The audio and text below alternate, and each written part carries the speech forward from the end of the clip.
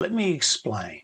Down under, Qantas's fleet age has come in for attention, with one newspaper spruiking that when the airline's last A330 is retired, it'll be 25 years old.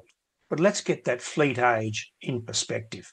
A well maintained aircraft can last 50 years and more, such as NASA's recently retired Douglas DC 8, which was a bit more than 50 years. Sure, Qantas's fleet is older than it would like, but the airline closed its order book during COVID as its share price tanked to $2.36 from around $7. It's now $9.34.